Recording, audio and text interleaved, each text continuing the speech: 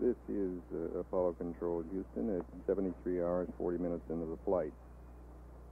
Our present orbital data at the elapsed time I gave you uh, still carries an ap- a perigee of 60.8 nautical miles. That perigee occurring at 8 degrees north by 89 degrees west. Um, an apogee, an estimated apogee, this would be of um, 60.4. This would be after our circular, circularization. Um, the flight plan at this point is very busy. All three pilots have uh, considerable tasks to do, as opposed to the last several days when the when their columns were virtual blanks. For instance, at uh, 73 hours 40 minutes, right along about now, Frank Borman is busy uh, doing a platform align to a specific to a specific number. Uh, then he's called upon to roll right 180 degrees in a two-second degree pitch down, and so forth. Uh, at the same time, Jim Lovell is uh, doing uh, a number of vectors. He's working with, uh, on the RCS monitors, ensuring the values in the, the tanks there. And then shortly he is to start a rest period in about 10 minutes, a two-hour rest period. And at the same time, Bill Anders is busy with a battery charger. He's, do, he's doing an SPS monitor check. And uh, he is to uh, put a program in to acquire the high gain antenna via the Manned Space Flight Network at a specific time. And during all this, he, will be, uh, the biomedical switch will be on him, so we'll be following his heart action. All in all, a very busy, busy period on board.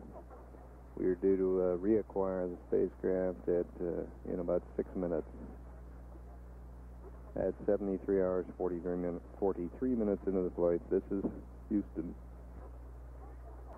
Uh, Apollo 8, Houston, over. This is Apollo Control Houston. We expect to acquire just momentarily. The first call has gone out. We have acquired. We're reading uh, Uh, Apollo 8, pressures, Houston, over. And uh, here goes the first call.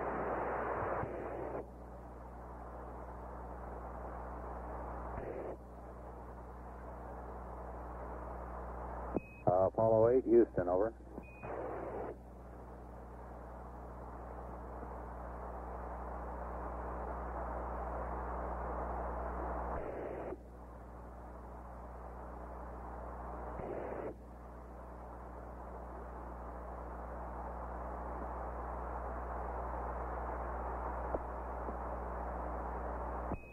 Apollo 8, Houston, over.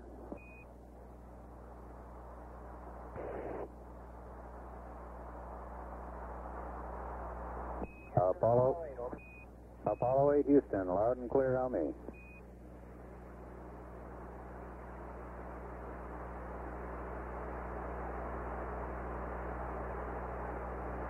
Houston, Apollo 8, over.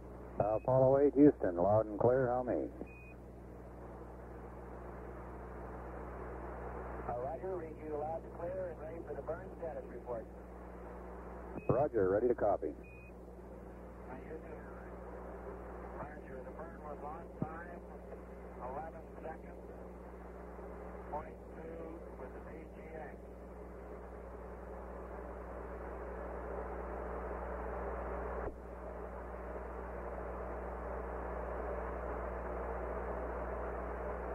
One point eight VGY, minus one point eight, minus point two VGZ.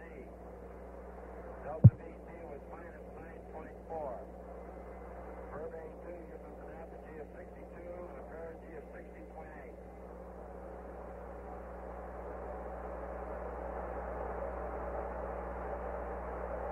Uh, Apollo 8, this is Houston. Roger. Uh, your burn was on time. 11 seconds. VGX was plus 0.2. VGY minus 1.8. VGZ minus 0.2. Delta VC minus 9.4. Apogee 62. Perigee 60.8. Over. Roger. Apollo Control here, that circuit's noisier than we can recall in the last two passes, but we have heard the crew member, I think, Borman confirm an apogee of 62 miles, a perigee of 60.8, a virtually perfect uh, second burn, giving us a circular orbit. We'll continue to to leave the line open. Apollo Control again, um, apogee on this, the third rev around the moon will occur at 80 degrees west longitude, 9 degrees 30 minutes north latitude. Those are lunar coordinates, of course. The perigee on this rev will occur at uh, 9 degrees 29 minutes south uh, latitude and uh, 99 degrees 28 minutes east longitude. That'll be on the back side of the moon. And our numbers now show uh, an apogee of 60.9 versus a perigee of 60.5 compared to 60, 62 mile apogee and a 60.8 mile apogee from the crew. Uh, excellent agreement.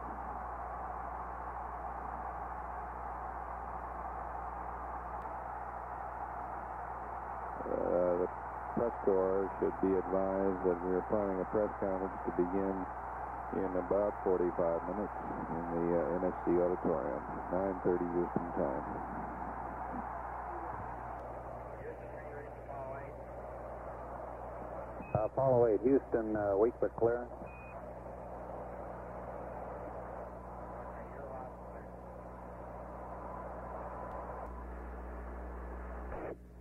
Uh, Houston, Apollo 8, we're on uh, high gain now. Uh, if you want to get the high-speed data to look at that burn. Uh, Apollo 8, this is Houston, roger.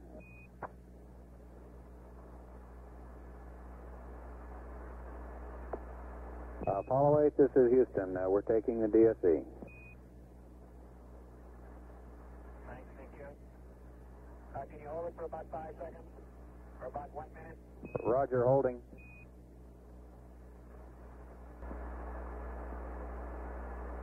Okay.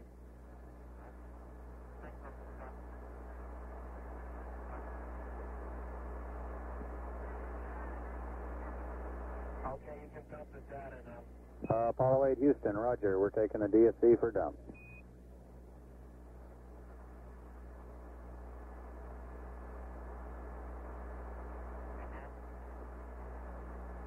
And we updated the, updated the wind state vector of the bird 66, Houston. Uh, Houston, roger. Got an exceptionally quiet pass across here. We're reading a, a pitch attitude of uh, 192 degrees. Pitch down, yaw, 356 degrees, a 177 degree roll attitude. A very steady attitude, and I believe they're in orbital rate. Uh, that is a, a rate calculated to hold their windows in a specific position and move them in the, as they move across the face of the moon.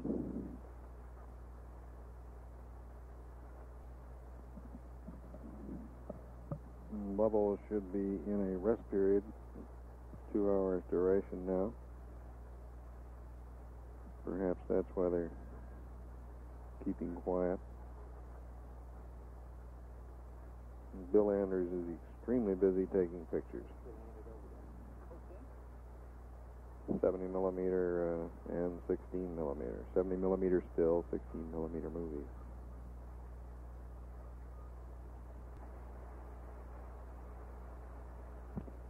This is Apollo Control Houston. We're 52 minutes from loss of signal on this path.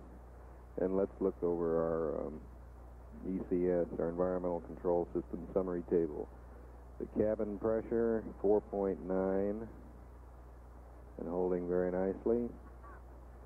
Um, the cabin temperature 77 degrees. I think that's up a few degrees from yesterday. I don't recall exactly. In general, we can expect to see, uh, we should be seeing a slight rise in temperature. This was predicted by the uh, thermal people, uh, a rise particularly in the outside temperature, the outside skin temperature of the spacecraft, a rise of something like 10 to 12 degrees. And this was uh, based on estimates from the 101, the Apollo 7 flight, and uh, the experience to date in deep space. The point to be made is that it's, uh, the spacecraft is slightly colder as it traverses from uh, Earth to Moon than it is while in orbit about either body. Slightly colder on the outside. The inside remains relative, relatively stable. Uh, a very quiet period, and uh, so we'll just take the line down. If something occurs, we'll come back up immediately. At 74 hours, 10 minutes into the flight, this is Apollo Control, Houston. Apollo 8, this is Houston, over. Hello, Michael. Yeah, good morning, Frank. We've been tracking you for about 18 minutes now, and we show you orbit 61 by 60 and a half, over. Thank you.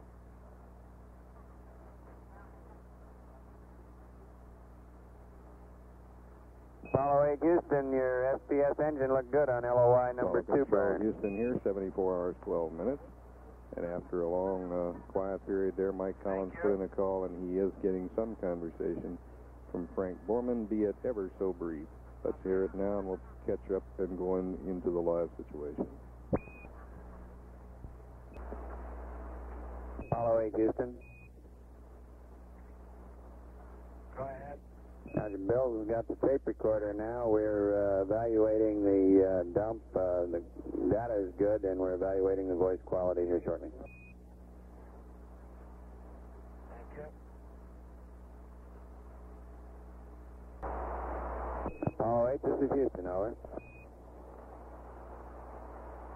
Go ahead, Houston. Apollo 8. Roger, got a couple of jolly updates for you when you're ready to copy. Stand by.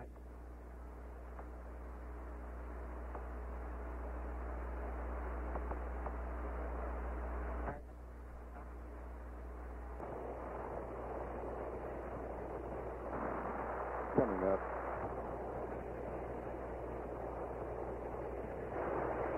This is um, Apollo Control, Houston this. We'll take the line down at this point, try to out where the source of all noise is. Fortunately, it's uh, been extremely quiet now. But uh, if there is any further conversation, we'll come back up and play it for you. At 74 hours, 21 minutes into the flight, this is Apollo Control, Houston.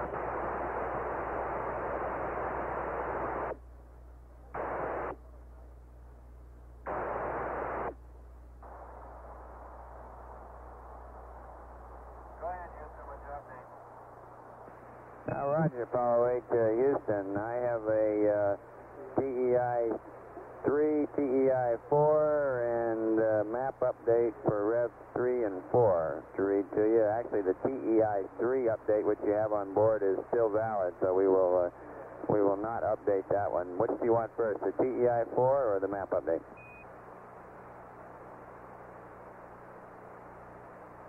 TEI 4. All right, this is the TEI 4 update, SPS slash GNN. Four, five, six, niner, five, minus zero, five, three, plus one, four, one. Are you with me so far, over? So far.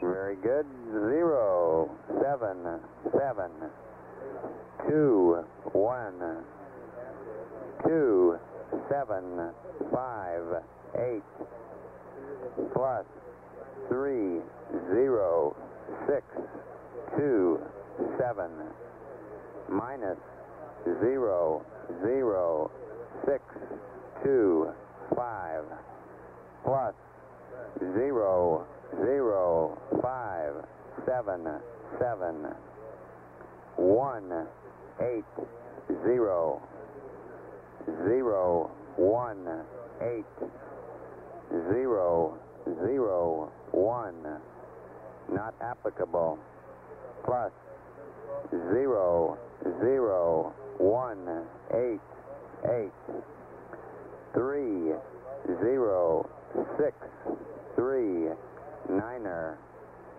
two five six three zero four five two. Are you with me so far over So far, stay almost the whole minute, though,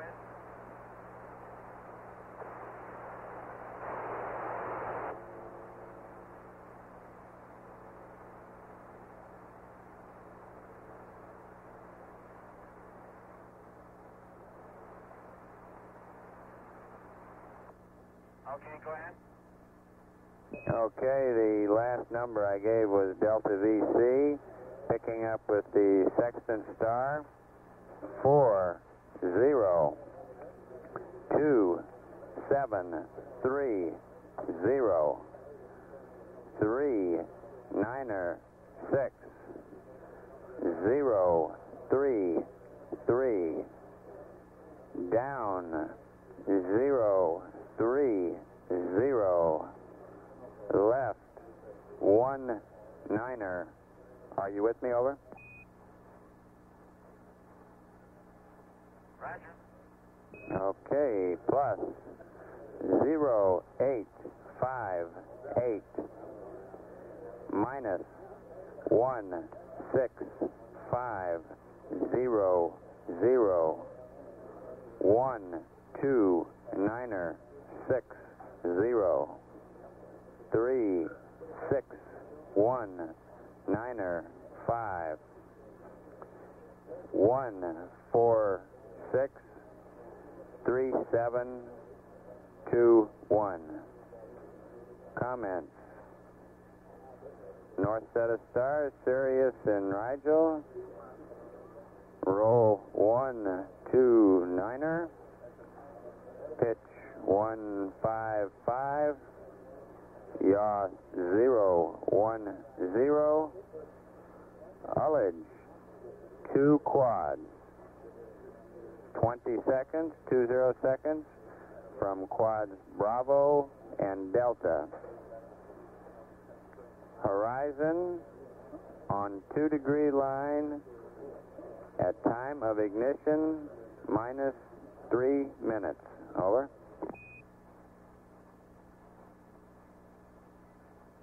Roger, Houston. We got a TEI 4 SPS GNS 45695 minus 053 plus 141 077 21 2758 plus 30627 minus 00625 plus 00577 180 018 001 NA plus 00188 30639 256 30452 40 273 0 396 033 down 030 left 19 plus 0858 minus 16500 plus 12960 plus 36195 146 3721 Sirius Rigel 129-155-010. Two quads, 20 seconds B and D. Horizon, 2 degrees at TIG minus 3. That's about the size of it, Frank, and a map update for Rev 3 slash 4 when you're ready.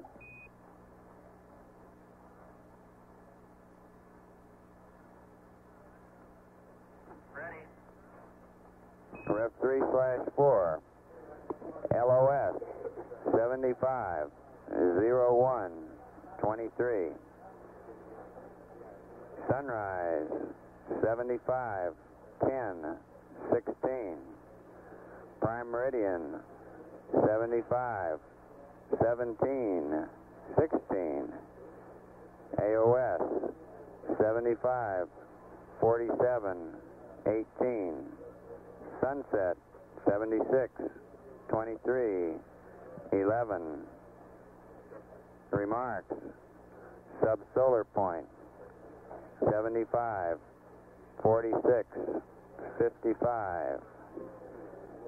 IP1 Acquisition, 76, 11, 17.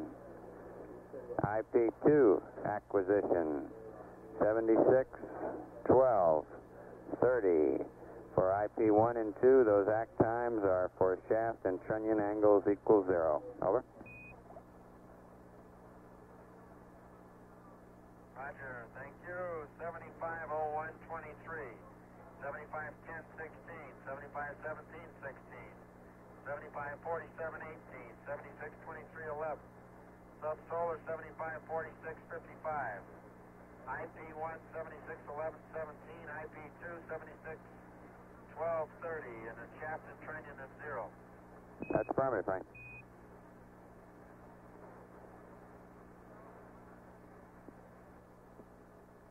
Apollo 8, Houston.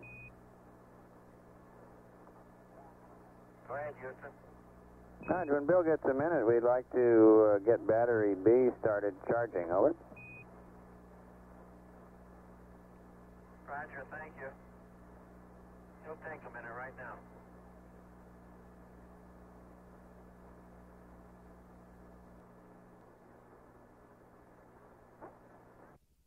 Trying to scribble some notes here and there. Roger, understand. Now, high bit rate is working great.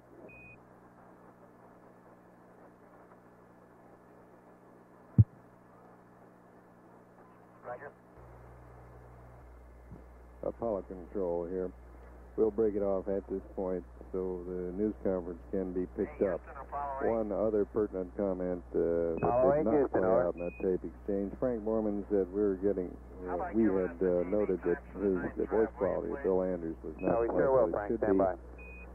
on the data record system in uh, in which is being dumped here each rev back to Houston. This was noted, and Bill said uh, they're all so busy right now. He'd do what he could, make notes on the flight plan and that sort of thing, but he uh, we just have to understand. So at this time, let's break over the auditorium and, and pick up the news conference.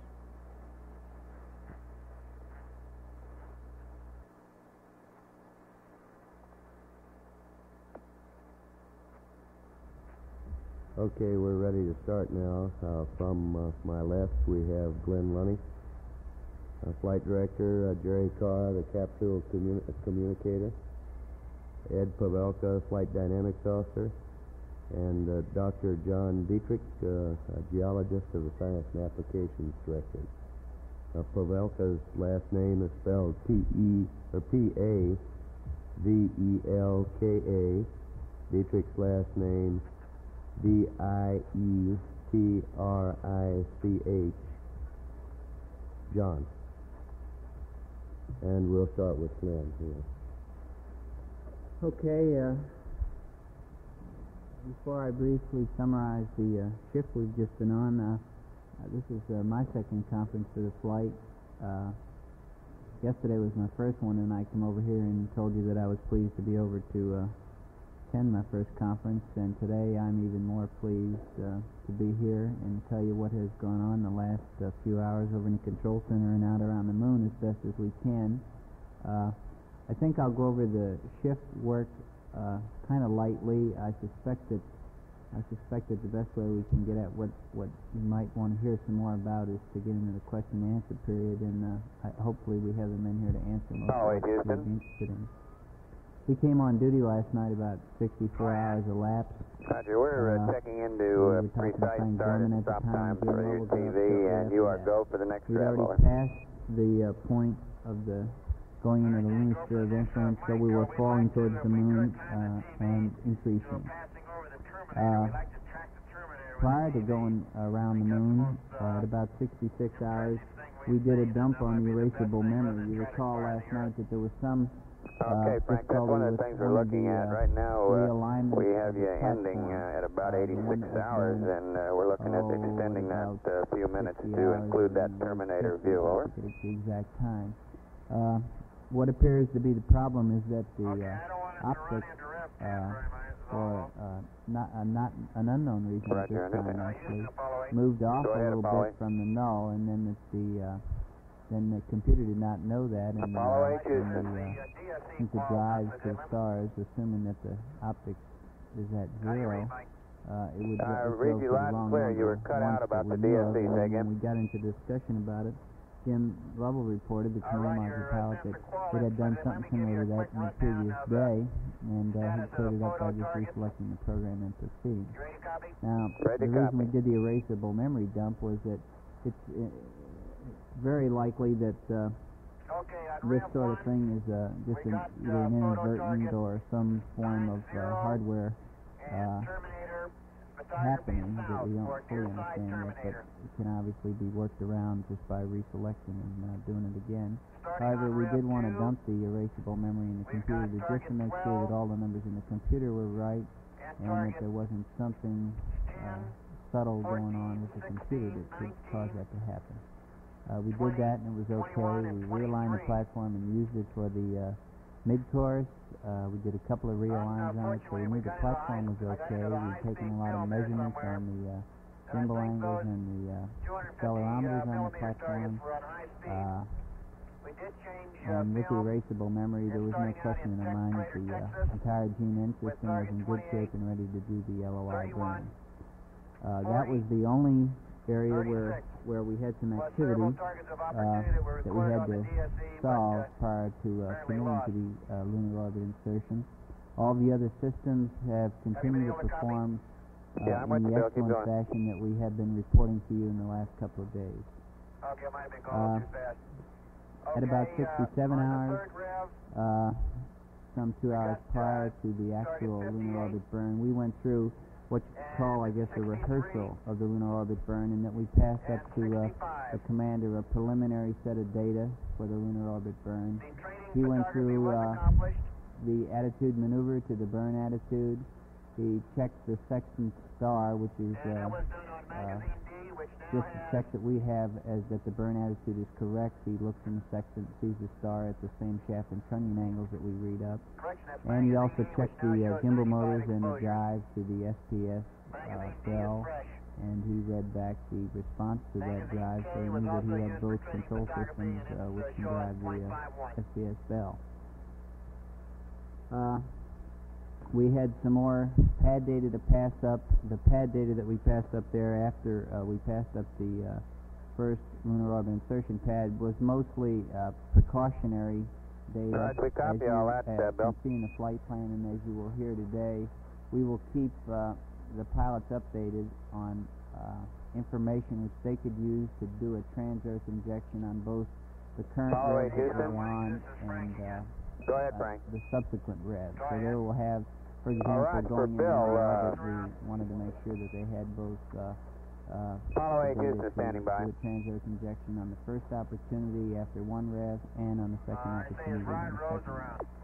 Stand by one, Frank. Uh, we'll look for Heads him. And uh, while we're doing that, uh, up and around for Bill, the uh, He had taken DSE voice quality to, uh, on high bit rate sleep, is uh, uh, is very good. Uh, so if he wants to use the to, uh, DSE in high bit rate uh, for a limited amount of time uh, uh, to record uh, important things, uh, we will suggest that he do that. We'd like him to uh, a wait 20 seconds after turning it on Uh, prior to uh, and then the last hour was relatively quiet, actually, in uh, mostly uh, monitoring on the ground Thank you, Bill. and uh, the crew setting up the cockpit to do the burn.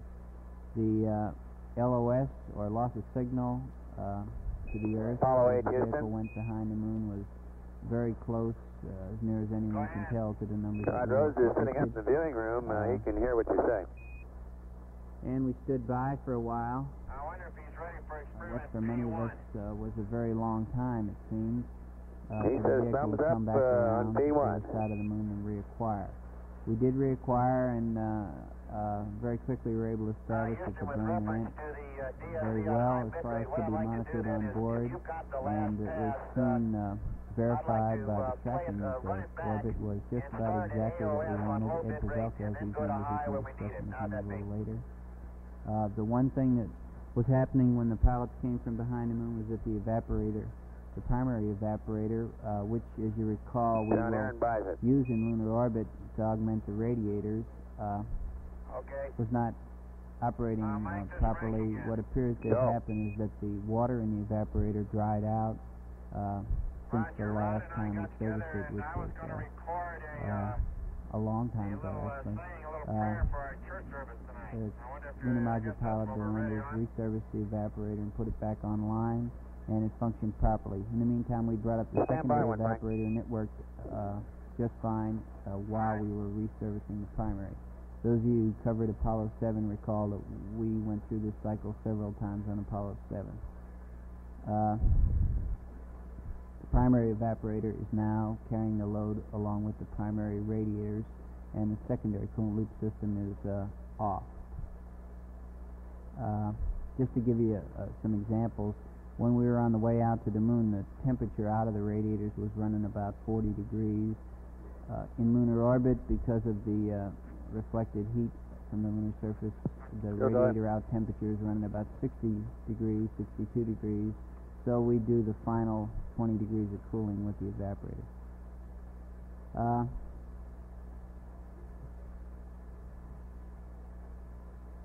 and the rest of, of the activity during that first pass was primarily looking at the data, uh, getting the dump data from the uh, first burn, uh, taking a look at all the parameters that we can on the SPS engine, and confirming back to the crew that everything looked okay.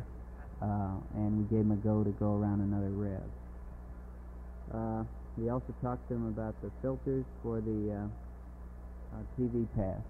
Coming up on the second revolution, which was a TV pass and, which- and which was essentially going when we got acquisition. Uh, that pass went normally. Uh, everyone saw the TV, and I guess the best way to uh, proceed on that subject is to wait until we get into questions and answers. Uh, I spent most of my time, I guess, like Frank Borman did. I was more involved with uh, how the systems were working and how the engine had worked, etc. At that time than uh, than what the pictures look like or or some of the description. Also, there was another comment made that was interesting. Uh, I have talked about the fact that the radiators were a little warmer uh, in lunar orbit. Another indication of this is that Jim Lovell reported that the ice appeared to be melting on the center window, the number three window right in the middle of the hatch, uh, which is an indication of the uh, uh, warmer environment that we're in around the moon. We gave a go for the uh, LOI-2 burn based on our analysis of the engine and the performance of the control system, etc. Uh, LOI-2 was uh, read up to the crew, the pad for LOI-2, the burn information, I should say, for the second lunar orbit burn. Uh, we did a couple of housekeeping kind of things. We had to cycle the fans and the cryos to be sure that uh, uh, they were in good shape and there- was not any stratification. Yeah, you're still loud and clear, Frank. That went okay. Going behind the moon on the second time, I should say the third time behind the moon, the crew did the uh, LOI-2 burn. Uh, I left short the control center shortly after uh, the discussions we had. Oh, as wait, Houston, uh, go ahead, that Frank, burn. with your As message. as we can tell at this time, that burn went completely nominally. Okay, The performance of the Toronto, the people systems, again, are nominal. Uh, Give us those and as far as we can tell, we have a in the world completely in spite ghost spacecraft.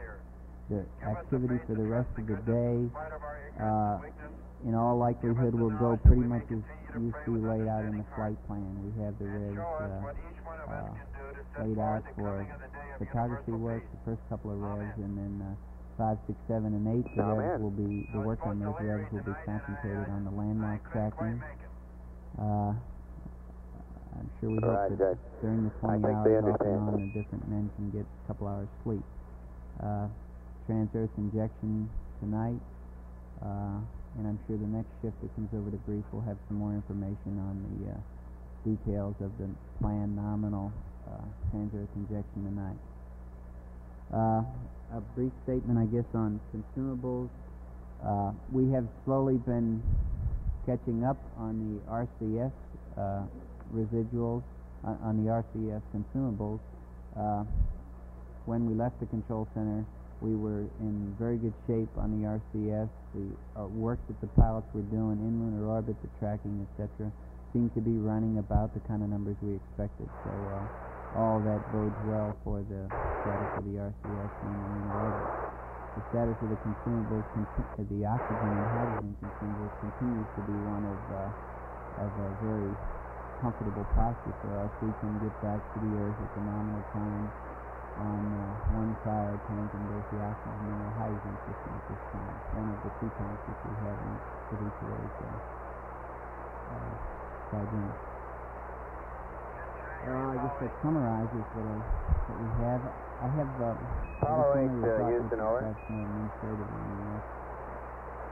We will probably uh, Roger, Frank. We'd like to know about the water chlorination. Have you, uh, when was the last time you chlorinated the water? I suggested to John McLeaish last night that for those of you who may have a question which I wouldn't, I or whoever else can Roger, we, uh, copy an hour and a half ago. Affirmative. uh, Better get to the answer if you're able to fill in the grant or the PIO a little bit early. Uh, uh, because is there anything that you can remember? Roger. Remember? So let's see what we can do today.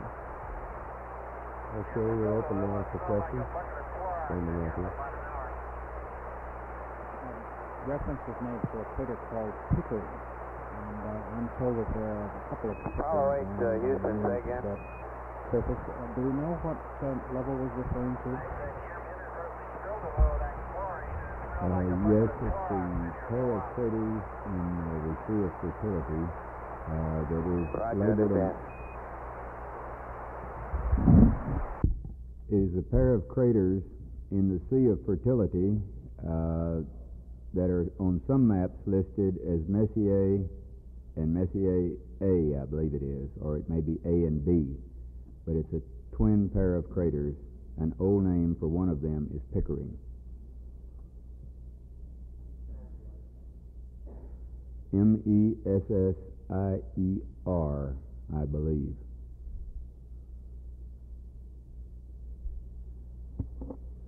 Uh, I would like to make the following question. Are you considering the positioning of communication satellites around the moon in order to avoid the communications block while the, uh, a spacecraft is traveling on the far side of the moon? That concept has been discussed. However, there are no plans to implement uh, a vehicle to accomplish that at this time that, that I know of. I have two questions. One, uh, we got the impression that they had the TV on as they came around from behind uh, on that first transmission. It seemed to bur- burst right in on us, and I wondered if that was the case. The other thing was I wondered uh, what problems have been introduced by the time lag uh, due to the distance. I noticed at one point they had a one, two, three mark, uh, and I wondered what that was and whether you cranked in uh, here the, the time delay that uh, is intrinsic to the distance. Well, I think that uh, on your first question, I think the TV was on at just about the time of acquisition, and that was all part of uh, locking up the station.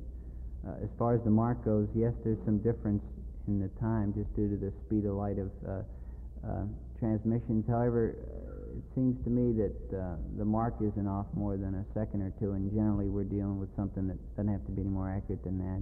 Plus, uh, I, I kind of, I guess, mentally anticipated some kind of a uh, discontinuity in conversations, but we don't seem to be having that.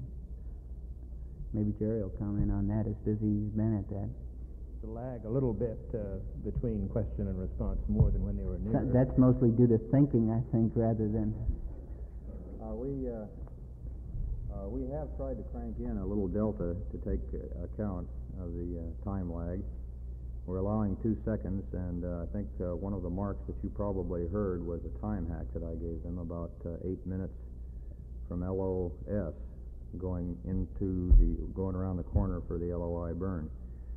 Uh, what I did is I started at 12 and counted, called that 10 and counted down, and two was, was marked. And by the time he got it, he got, he was at uh, zero on his counter, so that's how we did it. Uh, John, what was the atmosphere in the Mission Control Center at the time of uh, LOI? Uh, I heard some faint yelling and uh, whatnot.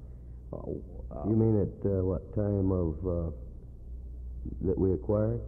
uh, at the, yeah, at, at that time uh, acquisition. Uh, yeah, yeah. I would describe it as a sort of a moving drama to me, but I, I'm not sure I can. Yeah, it, From inside, it certainly wasn't faint. no. I said from, uh, from the, the motor itself, it certainly wasn't a faint, a faint uh, reaction. There was quite a, uh, quite a bit of racket, quite a stir. I'm, I'm sure it can be described as one of the happiest Christmas Eves uh, just about anybody there had seen.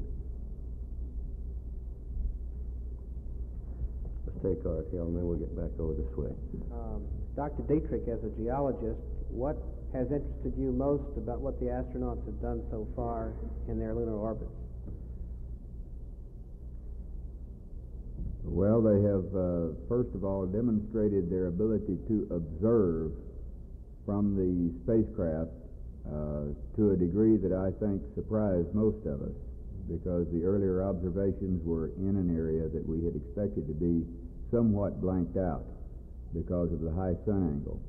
And uh, the, the uh, demonstrated ability to observe details in these areas uh, and of course this improves as you approach the Terminator, uh, was most encouraging to those of us that were in the science support area.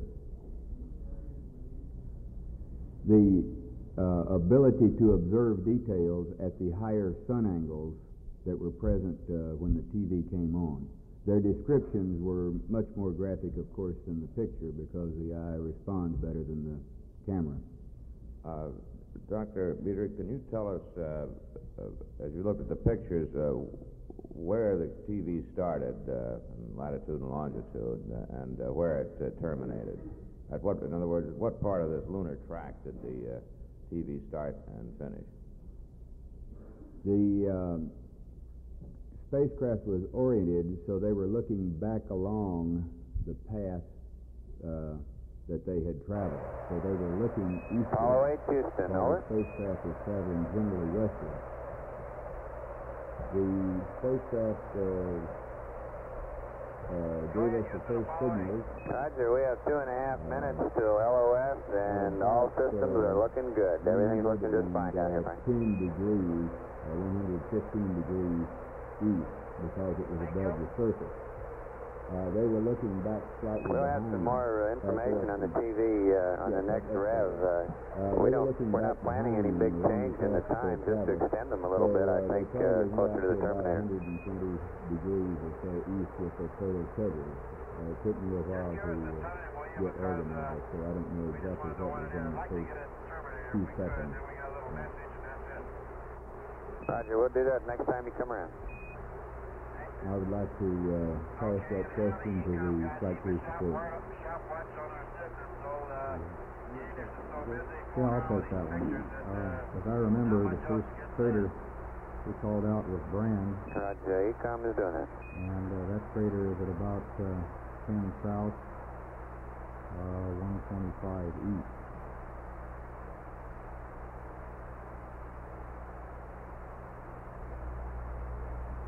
That's right. The craters that we've called Baffingham C are out uh, pretty close together at about uh, 25 south, 110 east.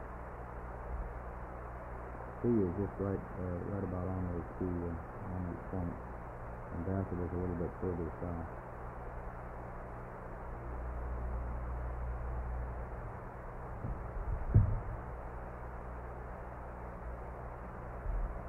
Okay, the track, uh,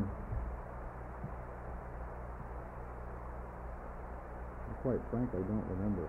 Uh, they went through They went through the Terminator. Right, they didn't get to the Terminator. Uh, they That's went right, through they went through Smythe C, so that would put it at around, uh, something like five south, seventy-five east. That's just a little bit past, uh, Smythe C, right around the, the craters Kastner and Gilbert.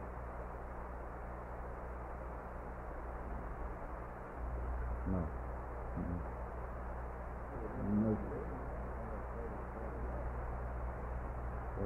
Picture.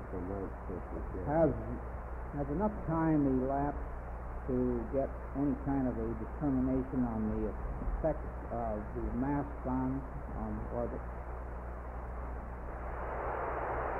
Well, yeah, we'll talk about this a little, uh, we'll to talk about a little more, but, uh, uh, they are detectable.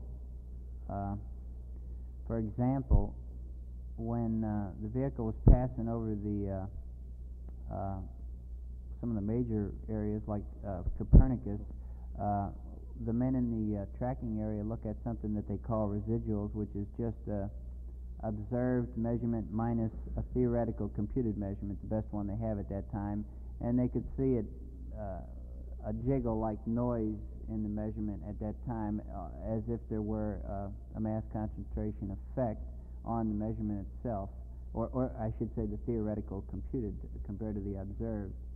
Uh, I- guess I would also say that it, it seems to be, although it's very early to tell, that the accuracy that uh, that we have on the orbit uh, is pretty good, even even with that mass concentration at the moon, about which we do not know too much yet, uh, at least at the altitudes we're flying. So uh, I, don't, I don't know if I've helped any, but uh, you, you can see that they're there. You don't, do you feel they have any effect on future flights, uh, landing? Well, I think I think the thing that we ha- that we're trying to learn in this flight is to understand exactly what the effect of the uh, lunar gravitational field is at the altitudes we're at, and hopefully, uh, with the data we get from this flight, we'll be able to work back in, work that back in, and minimize, if not make zero, any effect uh, like that. Yes. physical side of things, uh, have you had any more uh, tape reports on astronaut conditions, and uh, how did this work-sleep cycle get off right up to the point of the LOI? Jim was the only one resting just prior to LOI, wasn't he? LOI one. Uh, prior to LOI, uh, Jim Lovell and Bill Anders had a, a flight plan allotment of about seven hours. Uh, I don't know how much sleep Jim got, uh, but Bill got probably about four hours at that time. And uh, uh, as near as I can make out, we are close to being back on the flight plan sleep cycle, which uh, in lunar orbit is kind of small. Uh, but we get off of it kind of in the beginning of the flight when uh, when we had the need to sleep the minute more often. Have you had anything else on their on the condition on their? No, uh, the, you've heard everything that uh, has come down on the condition. They all seem to be feeling uh, genuinely better and genuinely more chipper than they were in the early stages of the flight. Okay, let's take one from behind Bill Shelton now. Uh, I have a question on the naming of the lunar features again. Could you tell me uh, what criteria were used in selecting these code names, which I understand are not official yet? Approximately how many features are so named, and what liberty or what plan does, does the crew have for naming additional features at will during this flight?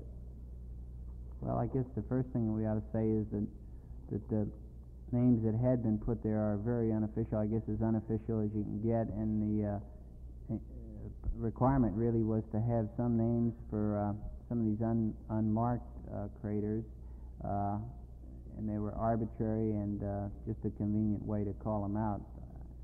Frankly, I'm glad to stop reading numbers and letters back and forth, and glad to hear a name or two.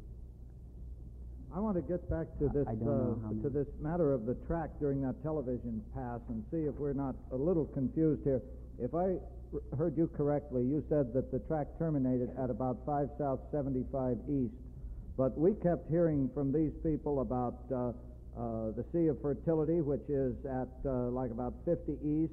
We heard Maskelyne, which is at 30 east, and so forth. Uh, I just want to get sync with you. Are we talking about the same pass? Yes, sir, I think we are. Uh, I guess I got into a little too, too much detail there. Now, when we when we came across the first time, uh, prior to the TV uh, orbit, the second rev, uh, as I remember, the first crater that was named by Jim Lovell was Langrenus.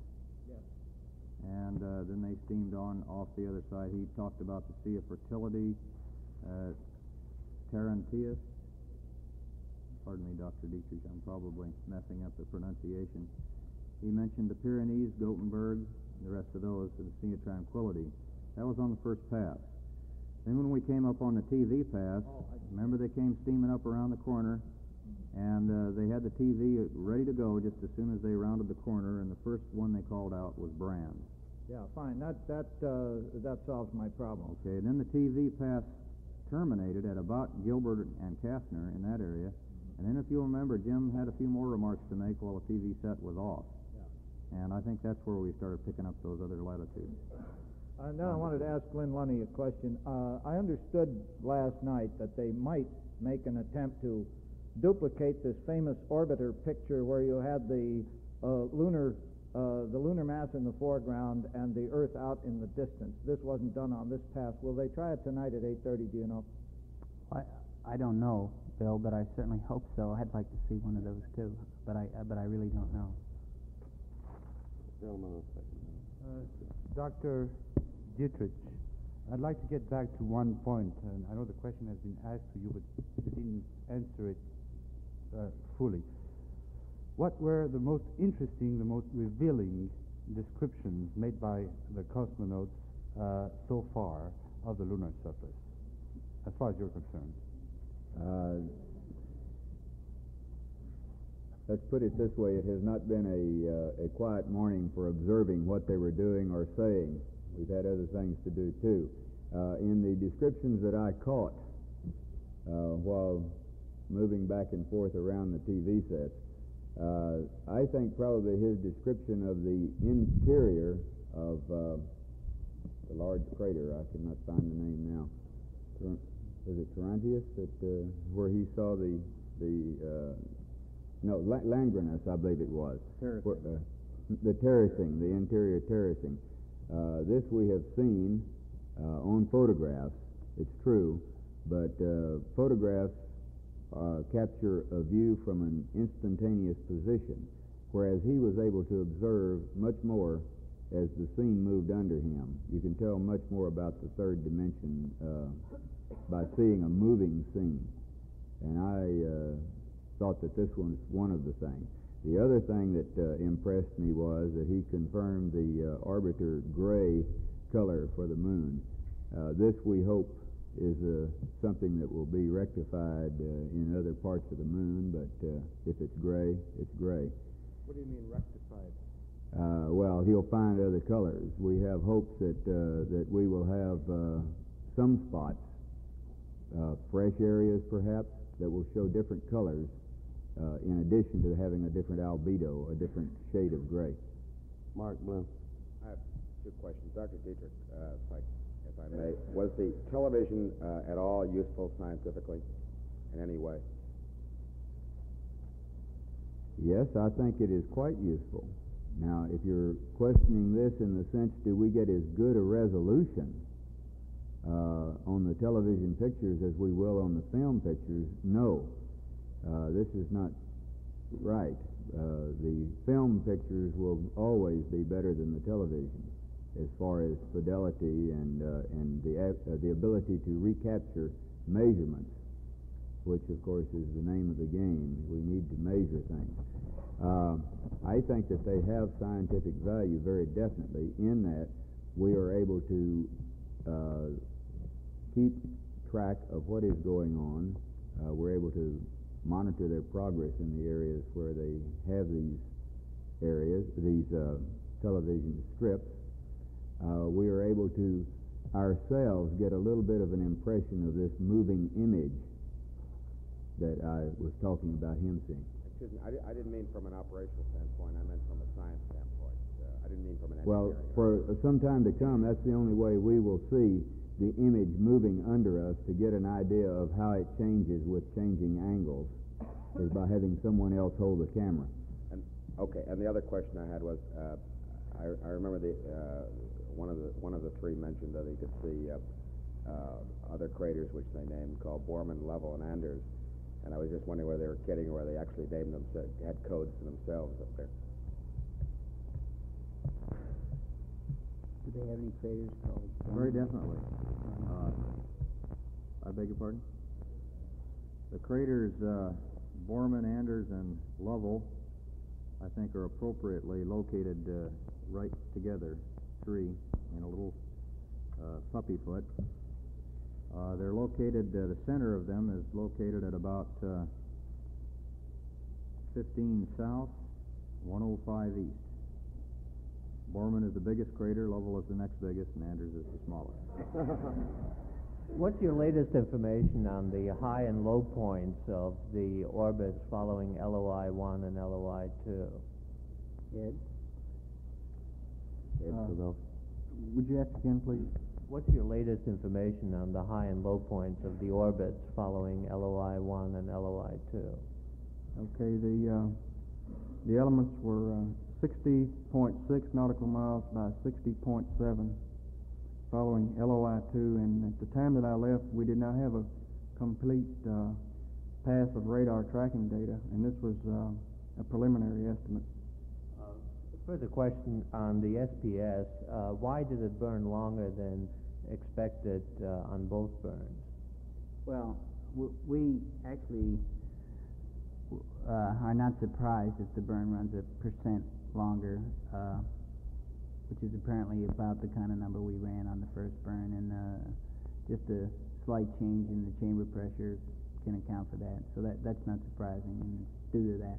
What about the second? 9 to 11 seconds is really more than a percent. Yes, the, but uh, that number has to be taken with a little bit of a grain of salt because uh, that burn comes on and goes off so fast that uh, I'm sure 10 seconds looks like 9 to them, so uh, 10 looks like 11, so I, I wouldn't uh, uh, draw any conclusions from that. The significant thing is that the uh, numbers, the velocity numbers left over in the guidance computer were very, very small, which indicated that we hit exactly the conditions that we had targeted for. Uh, the pressures in the engine, et cetera, are more indicative that the uh, engine is working properly. Yes, Clark? Uh, have you been able to tell from their descriptions and or from the TV how far north of their track and how far south of their track they can see? What's the band that they can observe? I, I can feel that one, I believe. Uh, they have about uh, 40 degrees, lunar degrees total, uh, from horizon to horizon. Uh, if the spacecraft happens to be right over the equator, this of course would mean 20 north and 20 south. Uh, due to the inclination of the orbit, uh, at times they are able to see slightly more than 30 degrees south of the equator, and one half revolution later they will see a little more than 30 degrees north of the equator, each time at the expense of the other view. Um, then how much of the, uh, how wide of, what's the farthest north that they will have seen and the farthest south by the time they've made all 10 revs? How much of the moon will they have surveyed in effect? How big a band? They will have had the opportunity, now we're speaking of a level moon, not mountain peaks. But on a, on a level surface, they would have seen to about uh, 32 and a half degrees, I believe. Wasn't it 12 and a half that the, uh, that the orbit inclination out to be 12.3? It'll be about 32 and a half degrees to the south, which will generally be on the eastern side of the moon, and then in the on the western side of the moon they will be to about 32 and a half degrees north. Peaks will show up beyond that distance. I have a couple of questions. Did I understand you to, did I understand someone to say this morning that the mass cons have had no effect whatsoever on the orbit, or is this uncertain yet? Oh, no, no. They've affected the orbit, uh, and I just gave some uh, remarks as to how that shows up in a qualitative way. Uh, what exactly they did to the orbit, I, I don't have those numbers with me. You don't know the deviation. Uh, the crater naming, was that all done here before the flight, or have they named any craters as they passed over them? No- No, I, I think the intent of the names that were selected were just to give some uh, identification for training and for making up the many maps that the men have to carry uh, That on the was all flight. done here. Yes. I assume it was here. Some, uh, there were two named uh, in orbit. There were two names in orbit. Which were the names given in orbit? Oh, the one Aaron and another Pardon me? one Dennis. Aaron and Dennis. Would you repeat Aaron? A-A-R-O-N and Dennis. Would you explain those again, please? It's just that uh, we pointed those two craters out on the screen. I remember pointing both of them out and saying, "What's the name of that one going by now?" And you, Bill said, "Oh, I don't know. Call it John Aaron." Uh, that's essentially the way we set up the whole designation system of our craters. Uh, there certainly can be no official number, name, or letter designated by us, but we had to use a number or some sort of designation for our craters we were going to use that are unnamed. What is the, would someone explain just exactly what landmark tracking is and why it's done? Landmark tracking is simply uh, an operation with the uh, telescope, sextant equipment on board, uh, similar to what was done in Apollo 7, only it is done over the uh, selected areas that we intend to use as uh, uh, eventual landing sites when we go to the moon. Now, the intent of the exercise is to see how well the men can can do that work and how accurately they can then determine where the site is relative to the orbit they're in. Uh, uh, the problem, of course, when you when you go on a lunar landing mission is to be sure that when you start your descent, you're going down to the site you want to land at. Okay, let's take Henry Simmons and and go to this gentleman on the third row who's, uh, I think, been waiting for a while. On the uh, LOI-2 burn, uh, I was interested that the engine had burned about 10 or 20 percent longer than the uh, planned value, and yet uh, had produced the uh, requisite delta V change. So does, does that mean the engine is getting weaker? No, I, I, as I said earlier, I, I think that just has to do with how accurately it, the time of the burn itself was noted. The the job that the pilots have when they're doing a burn and monitoring one is uh, fairly extensive and it's pretty intensive also, as you could expect. And and uh, and I think when the burn is over, they glance up at the clock and uh, and note what time it was. But uh, to the nearest second or so, I wouldn't try to draw any conclusions from that reading. This gentleman on the third row here. During the TV pass, uh, if we can assume at any one point that the camera was pointed almost directly down, how large was the area we were seeing?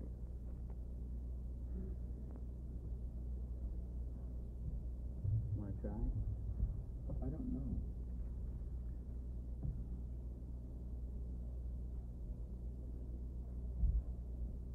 I, I don't know the uh, lens characteristics well enough to give an answer to your specific question. Uh, at the time they were looking at Smythe C, however, they were seeing, and of course this was not straight down. Uh, this was probably a few degrees to several degrees off vertical. Uh, they were looking at an area uh, that's about 15 lunar degrees in width, and uh, That's 16 miles a degree? 16 miles per degree, I believe it is. Nautical miles, Uh. Close enough. Uh, I, I think it's 30 kilometers. 30 kilometers a degree. Okay, thank you. Down there. With reference to the, to the previous question about landmark tracking, it sounded rather, as they were coming in, it sounded rather like they had done their homework uh, pretty well because I recall they were calling off uh, their, their primary sites and secondary sites and they were just naming off existing and known landmarks with a, with a great deal of aplomb. I wonder if somebody could comment on this. It seems Yeah. to me that the landmark tracking is almost superfluous here. I know it isn't. No, no, no, no. Uh, first off, I think uh, it's great that they can call them off like that as they have to do the star fields and their navigation uh, uh, on the way to the moon. But the problem with the landmark tracking is mostly a matter of degree and accuracy, and that's what you're trying to get with the tracking itself as opposed to identification. Let's take a question from the gentleman at the third row, and then I understand we have a couple of questions at the Cape. Uh, we'll switch there and then come back and wrap it up with a few more questions here. Uh, Dr. Dietrich, you mentioned that you were pleased with their ability to observe detail at high sun angles. I wonder if this could do anything to, uh, in future missions, to give you a wider launch window by perhaps lessening the lunar lighting constraint. Yeah, okay. Well, that's a decision that someone else will have to make. Uh, the real nice thing about low sun angles is the fact that you can uh, have a better judge of your uh, height of objects that you're looking at. Uh, we had uh, somewhat uh, believed before this morning, before I saw the TV this morning, that there would be a large area that was essentially washed out where you could see very little detail. And that was the thing I was talking about. We still have a degraded vision or a degraded ability to observe details at the high sun angles, but it's not as bad as we had thought. Okay, let's switch uh, to the Cape for a couple of questions. Thanks, John. We've got two questions here. Pete Wright, Chicago's American gentleman. Uh, gentlemen, can we have any idea of the emotional response of the astronauts to this fantastic adventure, becoming the first men to see the moon from close up?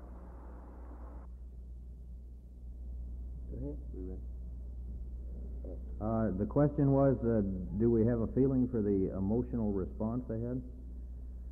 I would certainly say it was one of jubilation, exultation, and uh, any other word I can think of that would be synonymous with those. Uh, this is something they've worked uh, uh, many, many weeks and months on. Uh, one of the questions over here was how much homework had we done on landmark tracking and on our lunar landmarks. And let me assure you, there was a great deal of time put in on this, and I think part of the exaltation was just being able to see something and recognize it.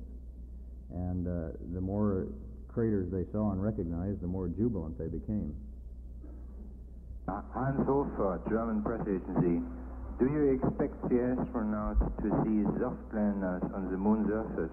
And if you do, which rev would offer the best opportunities for this?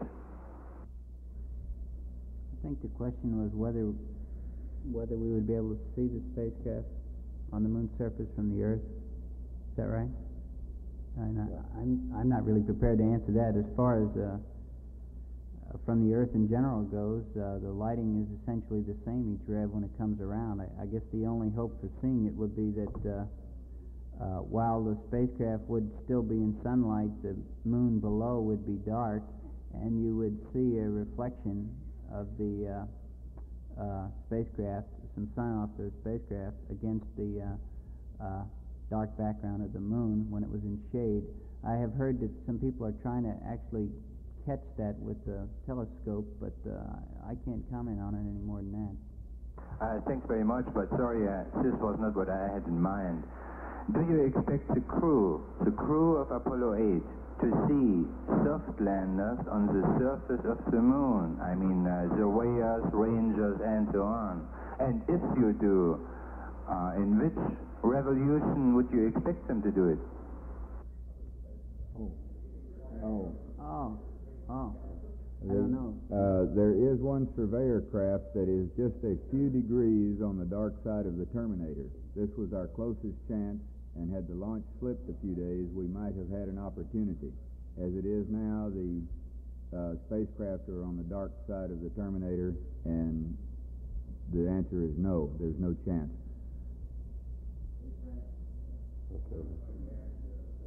Visibility of objects on the dark side of the Terminator. Have they said anything about visibility? How dark it actually is? They haven't said anything that I know of, Jerry, but I imagine it's pretty dark. Uh, the only comment that I have heard along that line was while they were still over the sunlit surface, looking beyond the Terminator, uh, I believe it was on the first revolution, there was a comment that we could not see in objects in earthshine. But when they're stand, or flying above the glaring surface, uh, I wouldn't expect them to have their night adaptation yet. So hopefully, but I haven't heard any word. Harry, please. couple more questions on nomenclature. Uh, we've had John Aaron identified for us, but would you tell us who Mr. Dennis is and why he was cited in flight? John, John Aaron is uh, one of the men who works over in the control center in the MOCR. He's worked a lot of Gemini flights, and he's worked almost all the Apollo flights, and is real popular with uh, all the pilots for his work. Uh, Dennis uh, is a, a young gentleman who works over uh, in our neck of the woods in Flight Crew Systems uh, Division. Uh, he was uh, one of the uh, real mainstays in the formulation of the checklist. And uh, so uh, the crew has had naturally had quite a bit of contact with him, and uh, when they needed a name quick to name one, the first one they thought of was Dennis. Well, the first name? That's his first name, Dennis Bentley. His last name is Bentley. B E N T L E Y? Right. No, the- What's the latitude uh, longitude of Bentley? Uh, this, this is, uh, what I, what I did want to ask was, after the Russians got their first backside pictures, they named a bunch of blobs over there for people on their side of the world. And I think the IAU did ultimately accept those as official names. Now, do you have any intention to propose these uh, to the International Astronomical Union as official names? You know, Jeff? I have no idea. I don't think there was any intent uh, in the designation of these craters to formally propose these as names because uh, uh, we just didn't feel there was a chance anyway. We only we only gave them these names because we wanted to, in some small way, uh, give recognition to those who uh, were really close to our Apollo 8 mission. Uh, Dr. Dietrich, uh, when were the, uh, the names uh, Borman, Lovell, Ander, Anders, uh, Bassett, and See proposed, or, or when did they come up? Uh, several months ago, or just recently? Uh, as far as, as my experience is concerned, I first saw them on a map about three days ago. I saw them this morning when they handed me the map at the Capcom console. Well, did you do it, sir? No, sir. Who, oh, who did? Flight, Flight Crew Support Group. The Uh, crew did it. The, crew- uh, the- crew. did it. The, the problem is, when you're trying to describe something, uh, you need a handle. And the backside of the moon is almost without handles to hold on to. So they had to have something. But these were on the front. These were on the front side, weren't they? No, sir. They're all, I believe every one of the named craters is beyond 90 degrees east. That's right. Or if not, it's very near 90 where we're looking at it flat on when we're looking at it with an Earth telescope so that you can see very little about the surface. The Collins and Houston are about 92 and 95, respectively. F. Clark. Uh, question for Dr. Dietrich. There was a reference, I think, by Lovell to craters with dark spots in the centers and with light, what looked like light dust around the rims. Uh, could you uh, draw any conclusions from that, or did it sound like what you've seen before in photographs? Did it add anything, or uh, uh, raise your uh, interest at all? It raised my interest, particularly because there is a, a very small amount of normal dark-colored mare material on the part of the moon that we have recently found out about from orbiter photographs, the back side, the far side of it. Uh, he may have been referring, and I do not know for sure, he may have been referring to craters with dark floors uh, of material something like this mare deposit, but with lighter colored rim. This would be in line with, well, for instance, Copernicus on the front side uh, is a very large crater with similar characteristics. I don't know the craters he was talking about. Art Schneider. On the matter of nomenclature again, isn't it the tradition of the IAU to name these objects after people who are deceased, and would this be a violation of that tradition? I don't know the uh, total rule list. I know that uh, about a year and a half ago there was some discussion, and at that time one of the conditions was that if it was a person, the person would be deceased, but I do not know whether this is one of the rules. Mark Bloom. John, I just want to ask John, uh, so we can all write our sidebars, is it possible we can get that map that uh, Mr. Carr was referring to with the names on it, so we'll know where all these things are? Well, let's see, at uh, this point in time, I think we've only got a single copy, uh, the one that Jerry's got, but why don't we look into the possibilities of uh, reproduction? It, it's certainly available for perusal, I know. Because, because it, it, it seems to be a point of interest, and, and it's going to get very confused, I think, if we don't get at least a good map like that. We'll check into it right after the conference. Uh, let's see, we've got time for about three or four more questions. John, there are a number of numbers that we would like to get cleared up, and I think it's probably simpler if you, if we could have you read some of them than if we all come up and try to do it individually, such as exact times on LOI one and two, delta Vs on LOI one and two, and so on. Do we have a, Yes, are those we- available? Uh, I believe uh, that's one of our prime purposes uh, for Mr. Pavelka's role with us today. Like, why don't we close it on that note, if you like? Okay, I can begin by giving you the uh, ignition time for the LOI one maneuver. It was 69 hours, 08 minutes, 19.5 seconds. The delta V of that maneuver was 2,996.8 feet per second.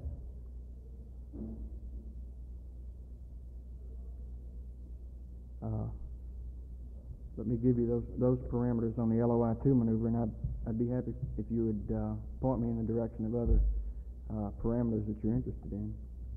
For LOI two, the ignition time was seventy-three hours, thirty-five minutes, oh five point seven seconds. The delta V for that maneuver was hundred and thirty-five point two feet per second.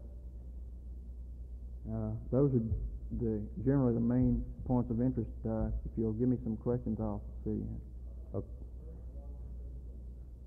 First LOS and the first AOS, if you get that. The first LOS was sixty-eight hours, fifty-eight minutes, 05 seconds. The first acquisition was sixty-nine hours, thirty-one minutes, forty-five seconds. The first acquisition, sixty-nine hours, thirty-one minutes, forty-five seconds. Just one other one. Is, do you have a period for the new orbit so that we can uh, estimate about what their orbital time is each time?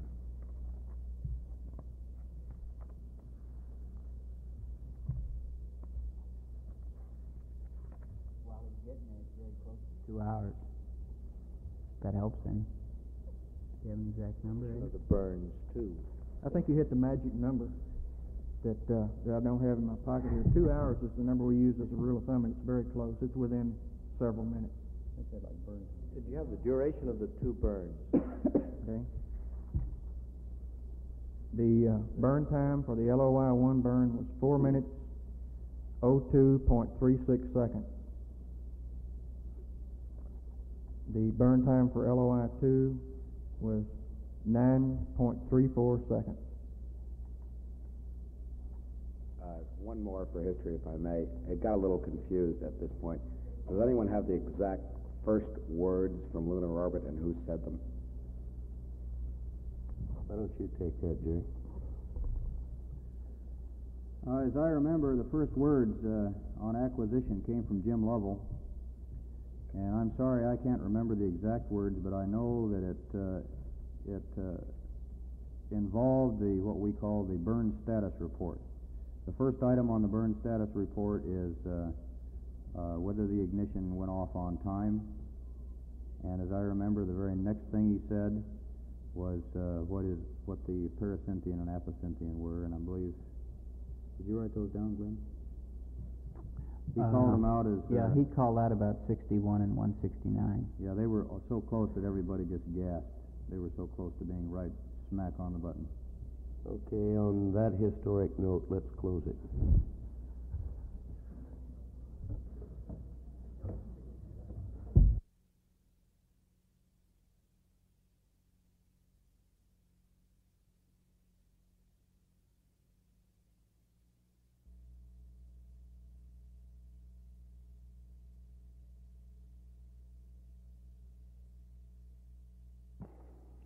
This is Apollo Control Houston, 75 hours, 37 minutes into the flight. Before we lost signal with the spacecraft, uh, oh, some half hour ago, I suppose, 20 minutes ago, Frank Borman came up on the line and said he would like to uh, dedicate a prayer to the people of St. John's Church, his church here in Seabrook, and he added to all the people of the world. Here is that prayer. Apollo 8 Houston, uh, go ahead, Frank, with your message. Okay, this is to Red Rose and the people of St. Christopher's. Actually, the people everywhere.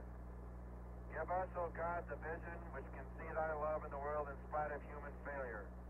Give us the faith to trust the goodness in spite of our ignorance and weakness. Give us the knowledge that we may continue to pray with understanding hearts. And show us what each one of us can do to set forward the coming of the day of universal peace. Amen. Amen. I was supposed to lay read tonight, and I, I, I couldn't quite make it. All right, Judge. I think they understand. This is Apollo Control. That was Frank Borman reading a prayer.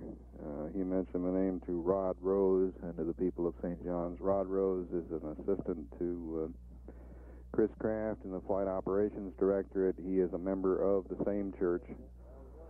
And uh, we'll see to it that St. John's receives a high fidelity quality copy of that tape uh, for uh, an evening service tonight, which uh, Frank Borman regrets that he could not make.